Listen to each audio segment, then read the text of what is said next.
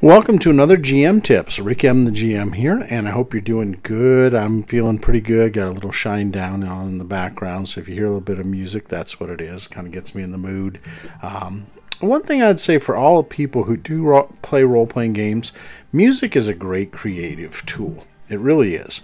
Now, I know some people get distracted by it, and some people will get thrown off by it. So, if it bothers you, then don't utilize it. But, however, if you're not bothered by music, having it on low in the background is sometimes a good thing. So, this week we're going to look at, or this episode, we're going to look at designing plots and having multiple plots for your campaign. Again, a lot of the adventure paths that you buy already have these written into them. So if you're buying things like Rime of the Frost Maiden, um, Adventures Inc., um, or what was it? It's not Adventures Inc., but uh, oh god, it's Corporations Inc. or something like that. Or if you get um, the Descent into Avernus, if you get uh, the Mad Mage, or if you get um, what the heist, Waterdeep heist, Dragon heist one. Um, there's a lot of adventures that already will have multiple plots put into them. However, players do buy books, they do read these things. So I am just saying for you, even as a brand new dungeon master and game master, please understand that people know our tricks of the of the world, and so sometimes they'll read ahead, and sometimes they will. It'll be a good thing for us. Sometimes it'll be a bad thing. So that said, what are sources that we can use to come up with plots? And this this goes into the brainstorming stage of your campaign. And and in coming up with multiple plots. I don't think it's a bad thing because what happens if the players understand your plot from the beginning, go for the juggler, and then all of a sudden by fourth or fifth level there's no more plot this is where having multiple ideas to draw from com- comes into play.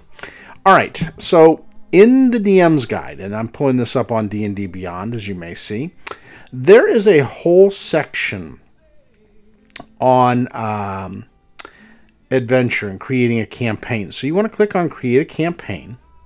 You can say creating a campaign kind of goes through, gives you a little bit of tips and where to locate it and all the other things. But here are the campaign events, and I call these the plot events. Because really, these are the things that are going to spin a plot or multiple plots from. It is a great guide for it. Now, that said, it is not the only guide for it. It is a guide that if you already have this or have it in your toolkit, becomes very handy. I always hear a lot of dungeon masters and game masters say, "Oh my god, I have nothing I can design a plot from," or "Man, same rehash plot." Going to something like this will help you. Uh, it's something I liked about Paizo Presses, or um, Presses Game Master guides for 2e and for 1e, and also for D&D 5e, as they give you a great section on this. So let's go down here and let's take a look at this. They have a world-shaking event. Now, normally a plot will have some sort of event that literally can shake the world itself. So these things can be pretty profound and give you an overall arc plot for a campaign. So, the rise of a leader in an area. That's interesting sometimes. Sometimes it's a new area or an area that's had a weak leader, and a new re- leader rises in the region.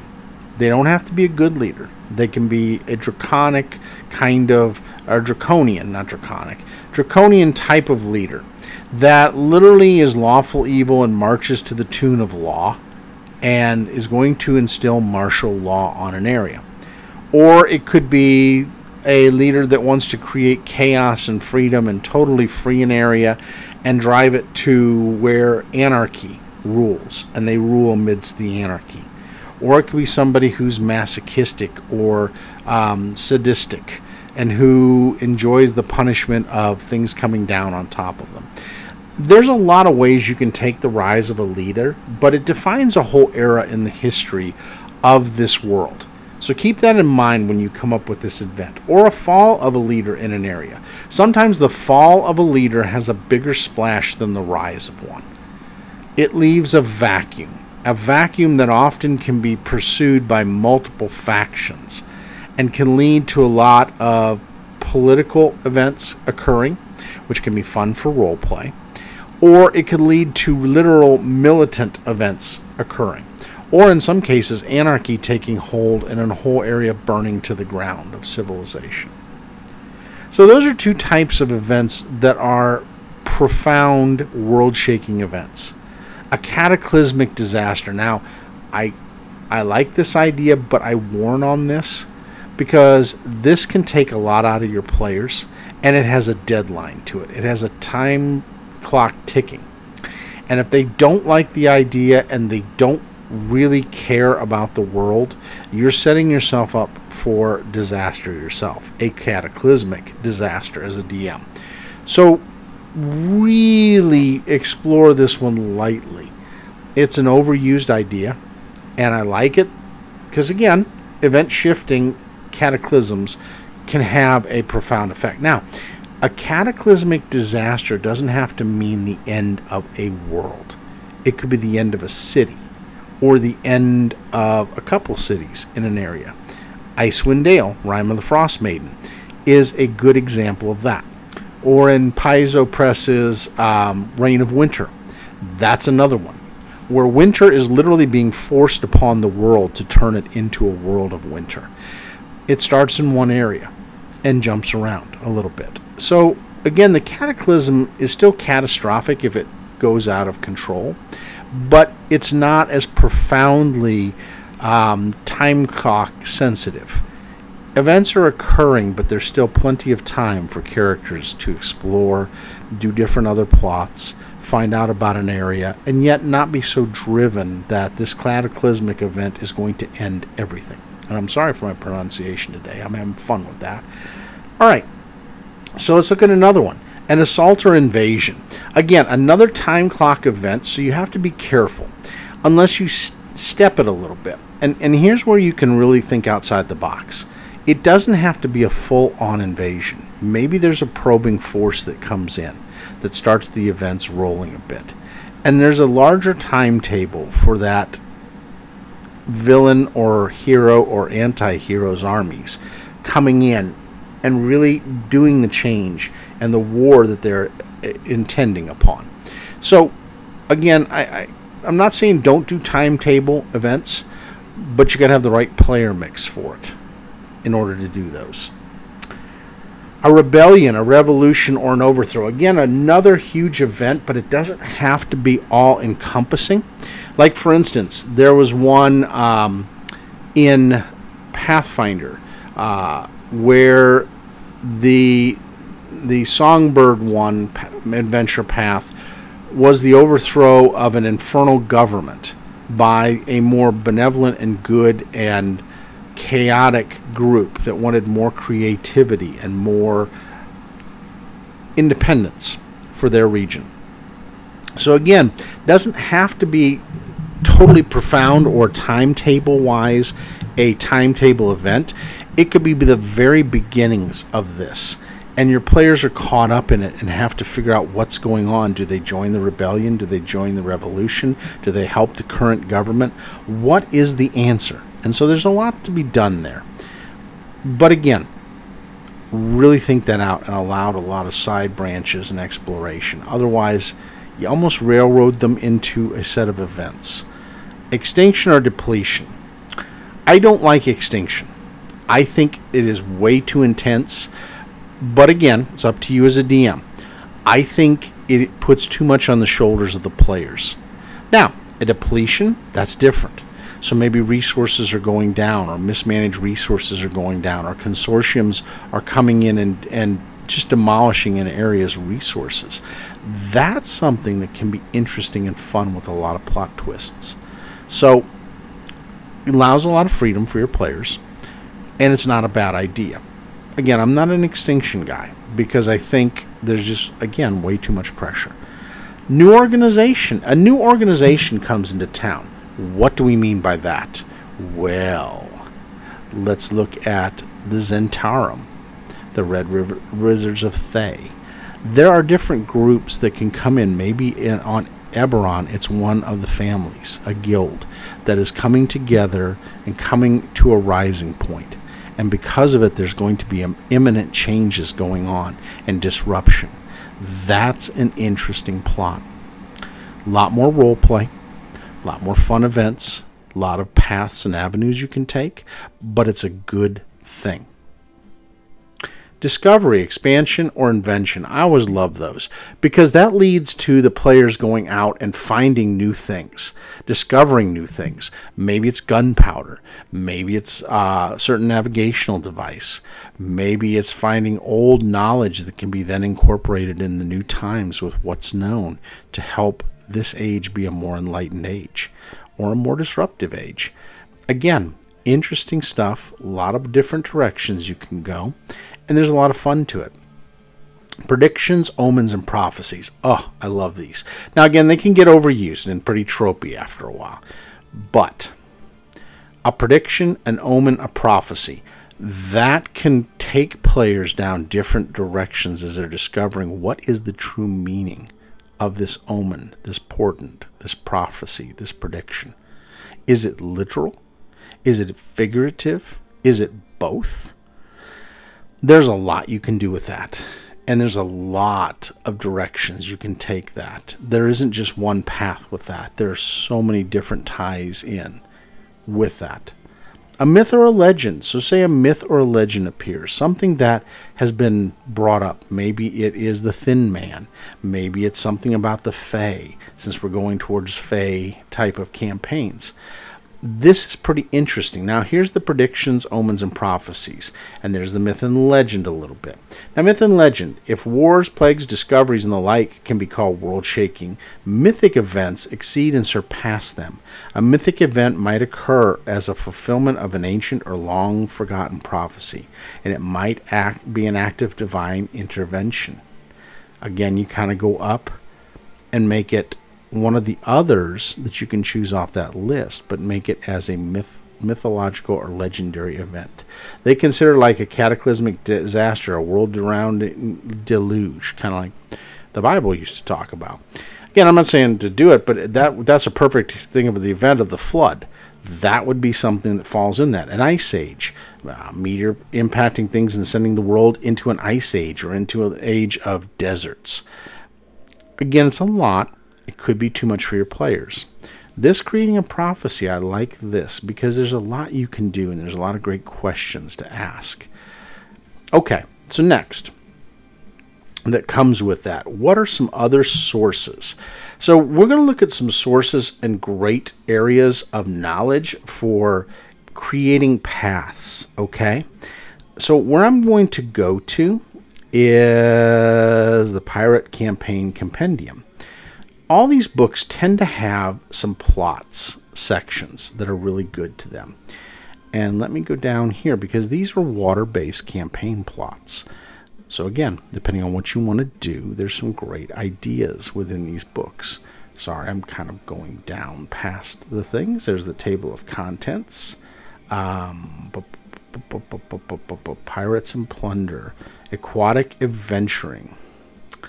So, let's look up here because we don't get into battle fleets yet. We want to go really about 114. So bear with me as I go to page 114 in here. Type it in 115 because it's always a page or two off. Okay, aquatic adventuring.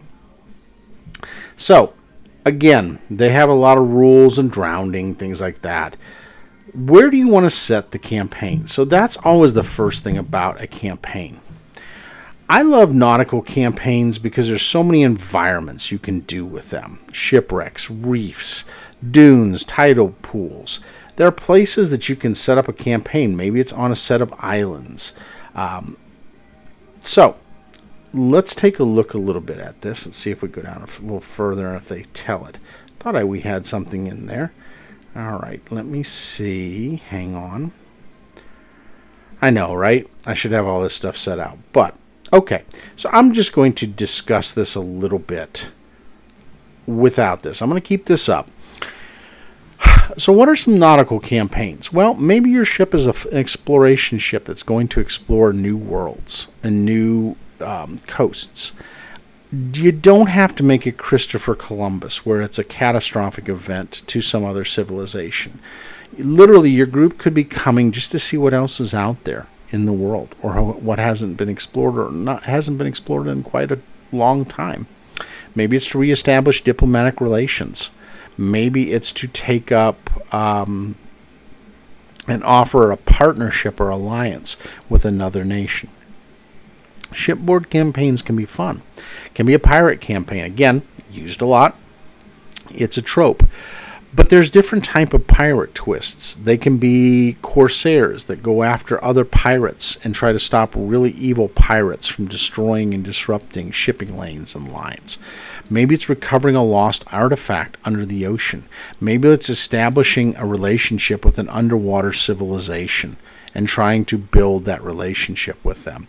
Maybe it is actually attacking an enemy nation's supply lines and literally sinking their ships and trying to devastate what they're doing. Maybe they're an evil nation that is trying to do something, or maybe they're a good one that's trying to reestablish a hold in a region, and you want to disrupt this.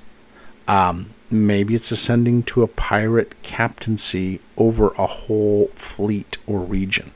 So your characters are literally becoming that flagship for the fleet and trying to gain that that uh, alpha position in that fleet.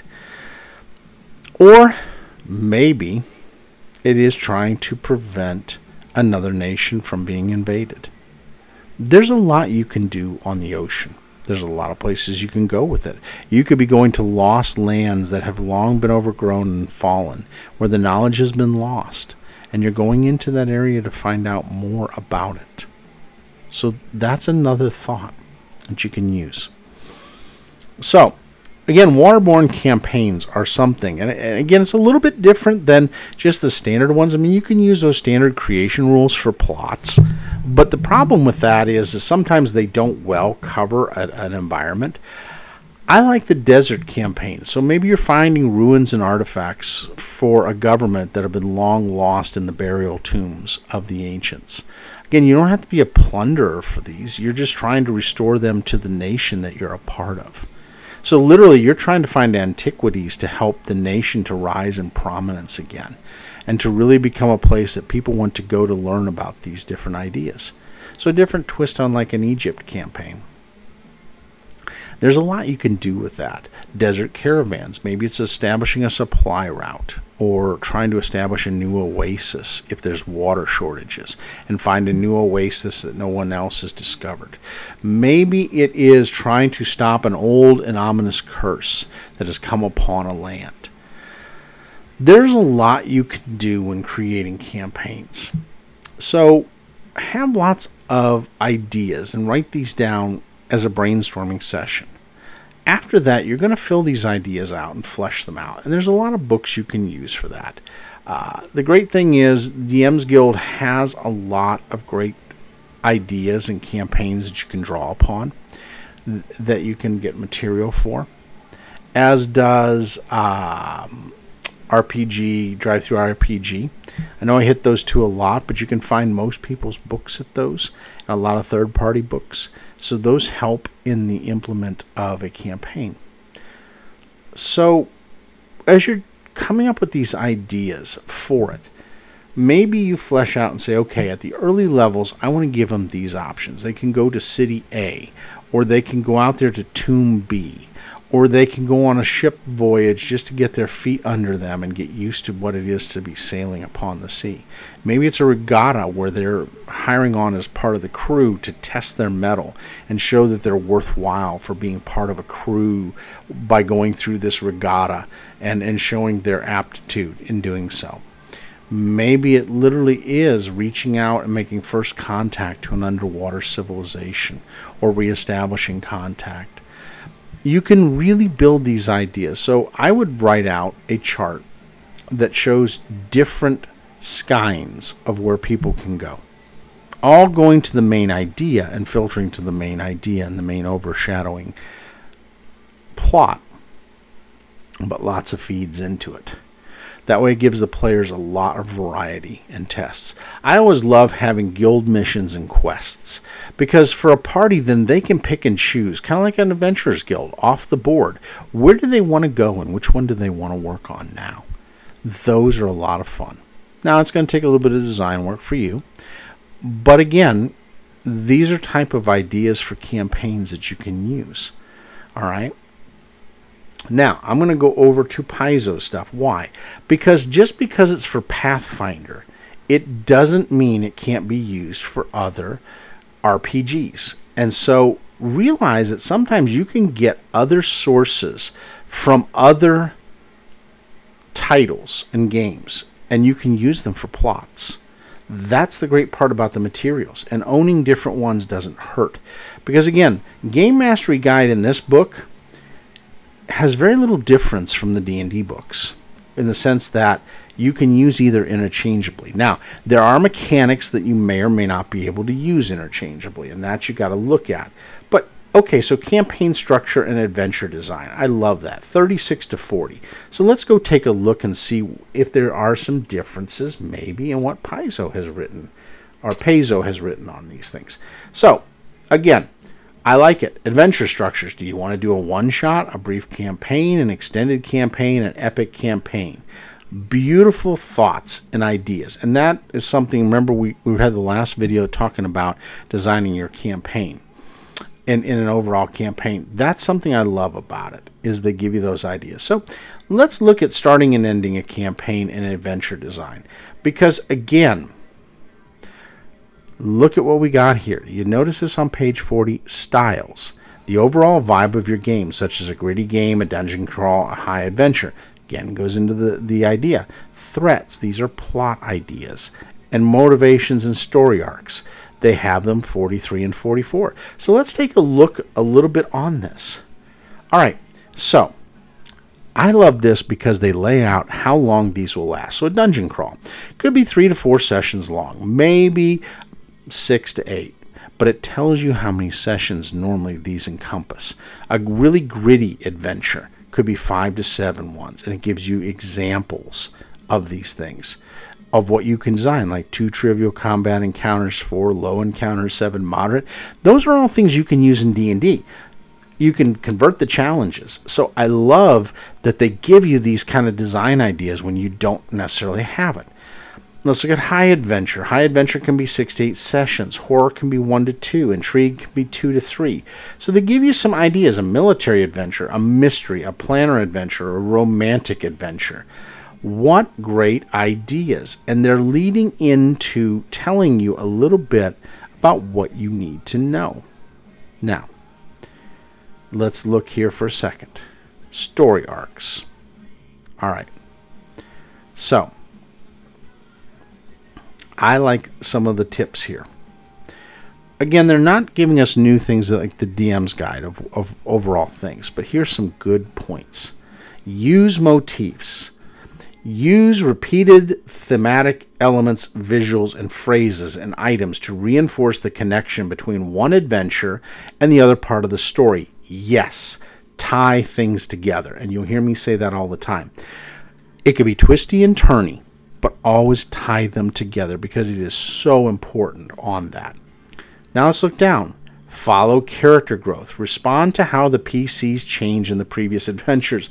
Yes, finally a book saying it. I love that because it is the character's story, and you'll hear me say that time and again. So in your actual campaign, follow the growths of your different characters. Keep a journal on them. See where they've already had pinnacle events. Let them reprise it. Let them write down the information for you. And, and really reprise what they gained from those last adventures. So you have a step along path of how they progressed. Escalate.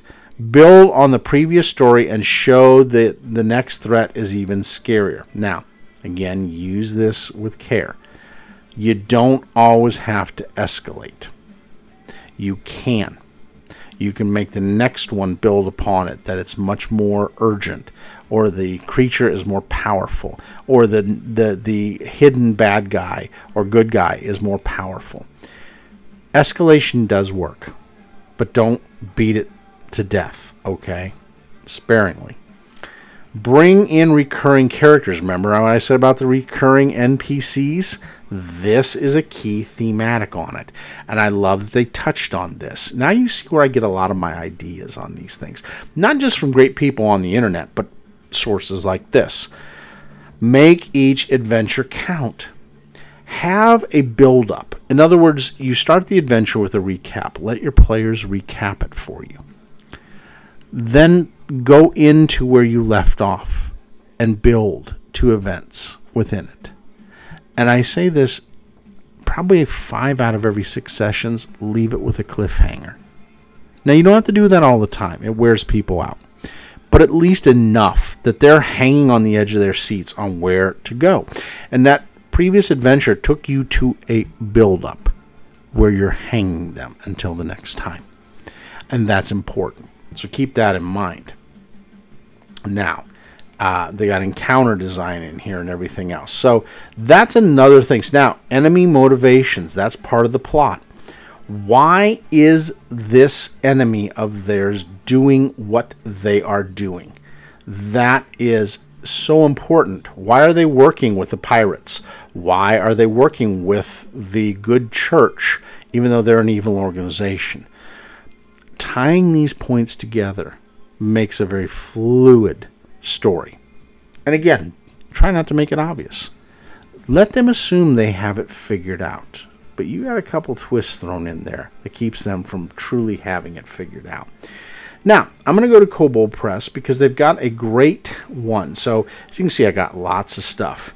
There's a reason why. All right, so Kobold Guide to Game Masterings. Ooh, plots and campaigns. There's my one. That's what I was looking for there are sources. Look, Kobold Press Guide to Designing Plots and Campaigns. And these have a lot of great people like Wolfgang Baur, Zeb Cook, James Jacobs, um, Ben McFarland, Amber Scott. Amber does some great stuff. Uh, Margaret Weis, um, and then Ree Soesbee. There's some real great names here that are included in. But what I love is they go through and uh, let me just kind of blow up so you can see the words a little bit. They go through really what it takes to building plots and campaigns. This is a book worth owning. I'm just going to tell you that right now. It is absolutely worth it, and each chapter has something to talk about. So, again, beginning campaigns, other people's stories, your NPCs and player characters.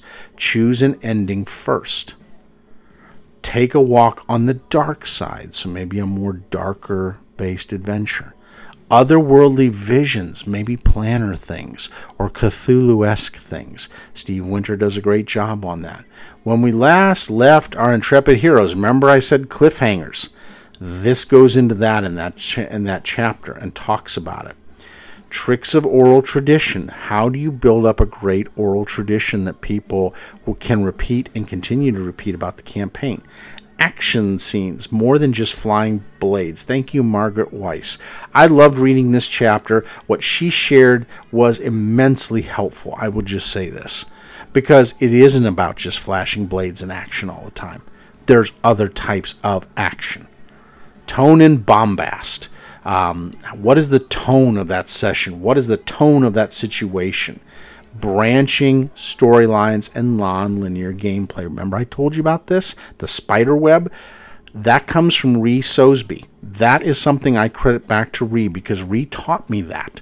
Is that everything doesn't have to go linear from A to B to C to D read this. Please, young game masters, read this because that 62 to 68 pages, uh, six pages, is so much worth it. It teaches you some great elements of non-linear stories. Okay?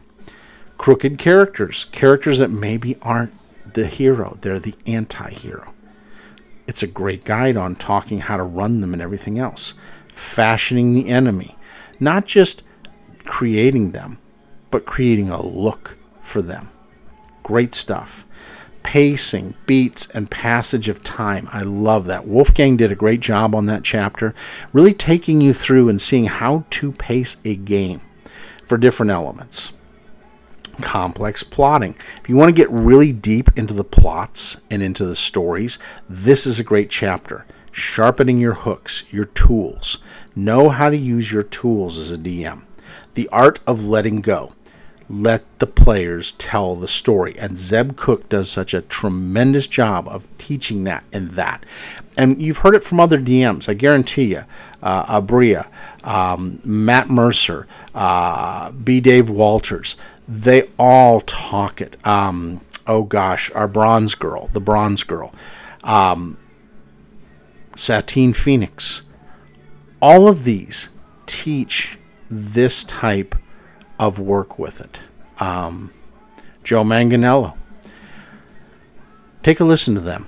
They really do have the right thing on saying the players write the story. Aabria has really been, and again, I'm sorry, I've mispronounced your name a couple times, Aabria. I, mm, I get going into something and I just don't let my brain engage. I've watched EXU, and literally, she, even though she has some influence and want to take them certain ways, she literally lets them write the story, and that's the epic part of it, is letting them do that plotting a general cam- generational campaign. So maybe multi generations. So they start with one set of characters and then they go to their characters' kids or the next generation or the generation after that. You can do a campaign like that and keep it ongoing, but change the stories, change the locations, take them different places. They're still in that campaign, but they're going to new, fresh places. Great idea using cliffhangers effectively. Thank you, Amber Scott. You taught me a lot on that. I love cliffhangers. And an improv adventure, a journey from here to there. That's how, if you don't have anything prepared, you can improv it. Please, this book at different times is such a great read. It is probably about 30 bucks, 35, maybe 40 for the PDF. Buy it. I'm not kidding. I'm not doing this to, to just support great writers. That's not the reason. This is a tool in my toolkit that I go back to again and again to sharpen myself. If you don't do this and get yourself this, then you are truly missing out. Now, there's a sister book to it, okay? And this is the one I almost went The Guide to Game Mastering. You have never game mastered before, right? Look at who that looks like on the cover. Not saying it's him, but it sure looks like him, doesn't it? Matthew Mercer. so, again, great writer. Shanna Germain, a tremendous, tremendous creator, along with Monica Valentin- Valentinelli. There are some great people in here. Now, why is it worth it? Here we go. These go into how to be a better game master. So, creating a fun, inclusive game. Remember, that's the topic of today. Make your game inclusive. Make players shine, not you, Miss or Mr. or them, GM or DM, if you want to go by uh, non binary terminology. And I do respect that, by the way. GMing for kids. GMing initiative, engaging shy players to want to play in your games. People at the table, advice for new GMs. Please read this. it's such a great help for all of you. Um, you know, planning your campaign into four stages. So, four different plot hooks that take it to different levels. See, I do listen on these things Monica. I really do. I do read these things and listen. Game mastering on the fly for those moments. Thank you, Brandon Hodge, for that because we all need that. Um, character love interests. Oh, James Jacobs. I have listened to that, and believe me, I've had now three campaigns where there have been love interests that have worked out really well, and have been in to where all the players are cheering them on. Winning player investment. You got to win them to invest into your game and your campaign and then the game and play, all these different things. I love these. But take a look at some of these. And it goes on. And then in between sessions and moving the perspective. Two tremendous tools from Kobold Press that you will never regret putting into your toolbox.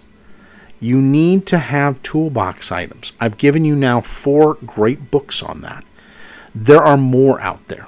But these four, I can tell you and attest to that I have literally put them into implementation. And it's why my games are where they are right now. Now, I still need to learn more. I am not doing enough, and I can tell you that.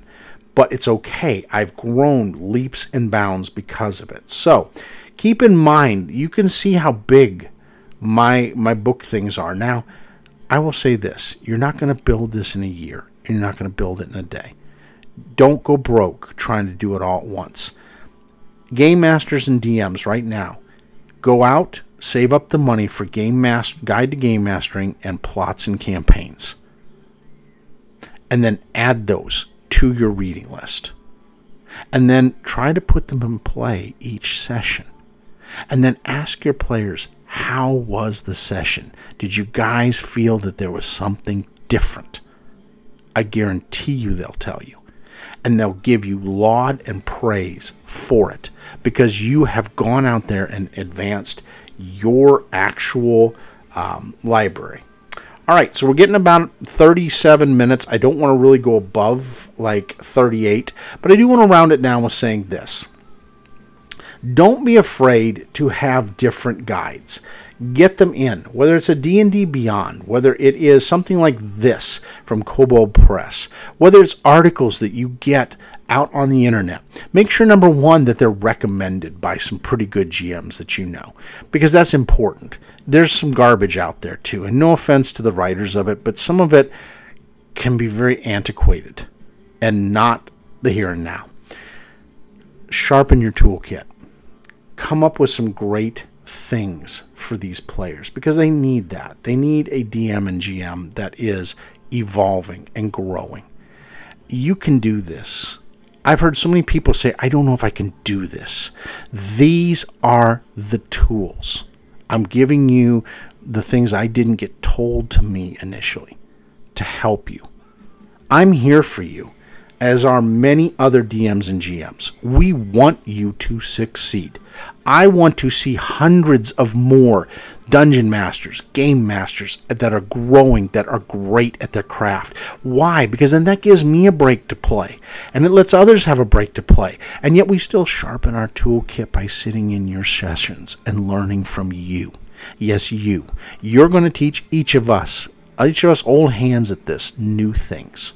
Don't think you don't. You definitely do. And so, have a great week. Mull on this a little bit. Take these gems and run with them and create amazing plots and campaigns. Thank you for your time. This is Ric M, the GM, signing out. Have an amazing week.